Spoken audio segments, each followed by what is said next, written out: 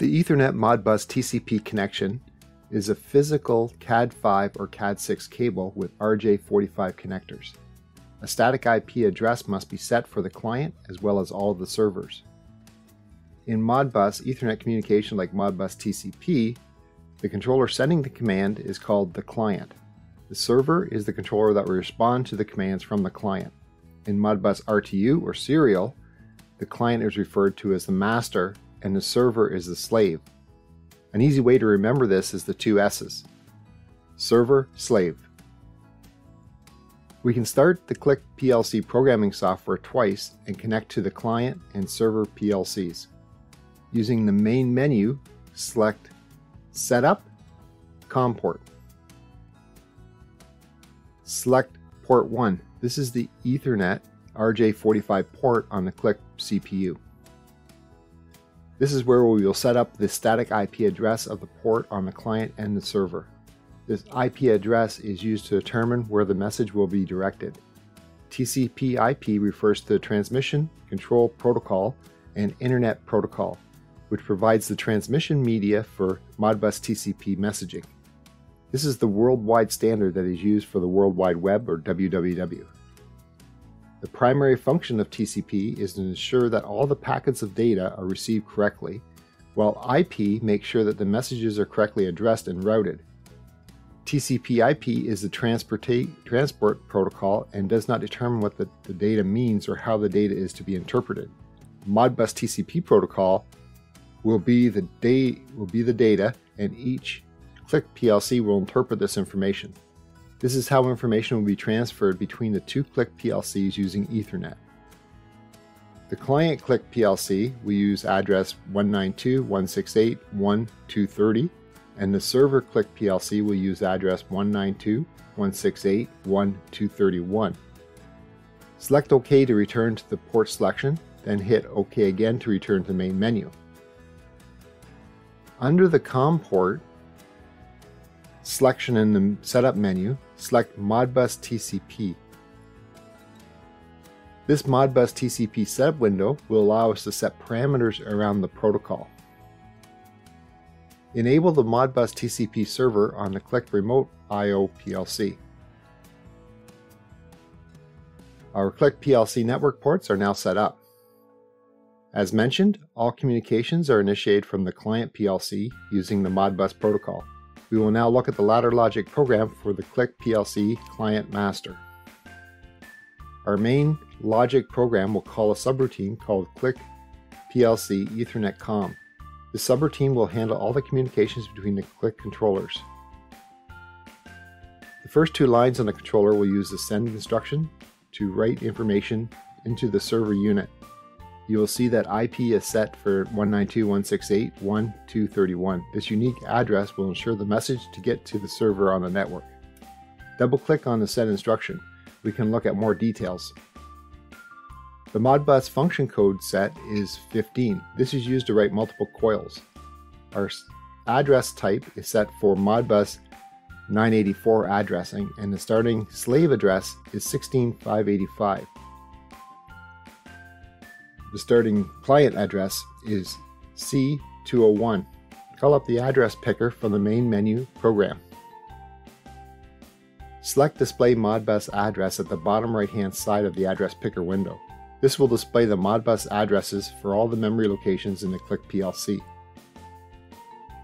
16585 is the address for C201.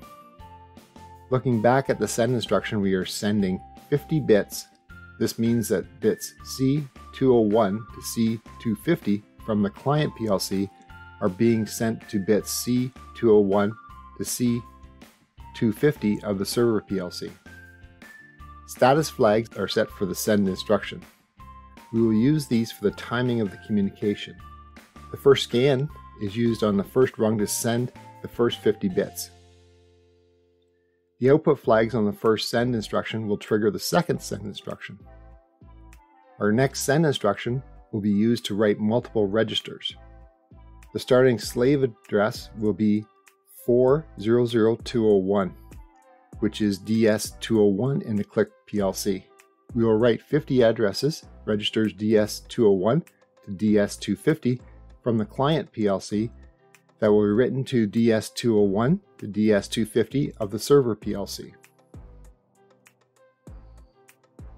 The flags from the second send instruction will all trigger the receive instruction. The receive instruction function code will read coil status. We will read 50 bits starting at 16635 address C251 of the server PLC and write them to the client starting at C251. The output flags of this receive instruction will trigger the next receive instruction. We have two send and two receive instructions that will allow us to pass 100 bits and words between the two click PLCs. We will read 50 registers starting at 400251, address DS251 of the server PLC, and write them to the client starting at DS251. The output flags of this instruction will then trigger the first send instruction again. The sending and receiving instruction cycle uses the flag bits. If the cycle stops, we need to determine this and start the cycling again.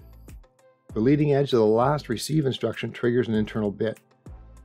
The normally closed of this bit will then start a timer set for 1000 milliseconds or 1 second. The leading edge of this timer bit will then be on the first line under the first scan in parallel. We'll now ensure that the information will continue to be updated. A heartbeat is sent to the first bit you write to the Click Server PLC. This is used to tell the server if communication is still active. Even though we are cycling above with our commands, it may not mean that the information is being sent. There could be errors on the line, and the server PLC will need to know this and react. The Click Client PLC will also need to know if the information is valid. We are looking at the leading edge of each of the Ethernet error communication bits. This will trigger an internal bit. The normally closed of this bit will then turn on a timer. The timer is set for 500 milliseconds. If the timer done bit is on, then communications are okay.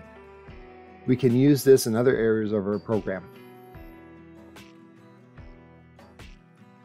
Returning to the main ladder logic of our client, Click Client PLC, we will implement some code to determine the throughput of our communications. When input X001 from our push button switch is on, this will turn on bit C201 and start a timer. Our remote click server will have the following code. This will read C201 and then set C251. When bit C251 is read from the Click Client PLC, the value in the timer is then copied to DS2, and DS2 will then contain the throughput value in milliseconds.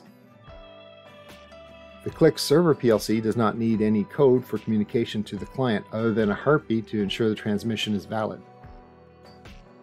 This is an asynchronous communication from the client. The heartbeat pulse comes from the client bit C201. Using the leading edge of this bit to turn on an internal bit, we use the normally closed internal bit as the condition for the timer. If the timer times out and the timer done bit comes on, we know communications have been lost. Call up the data view under Monitor in the Program tab of the navigation window on both the client and the server PLC click controllers.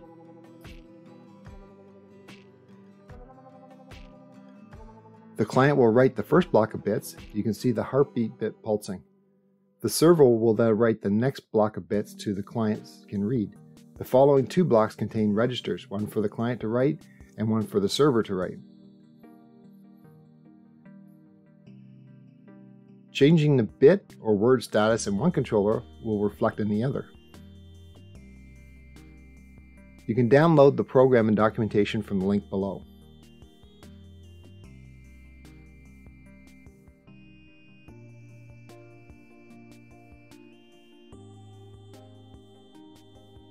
If you enjoyed this video, please hit the like button below. If you have any questions about the video, please leave a comment below and I'll do my best to answer it. If you want more information about us or you want our free ebooks on numbering systems or robust data logging, please click on the link in the description below to get it. A new video is put every Monday, so make sure you hit the subscribe button so you get more videos like this in the future. Remember to click the bell beside your subscription to actually receive those notifications. Thanks so much for watching. I'll see you next time. Stay safe.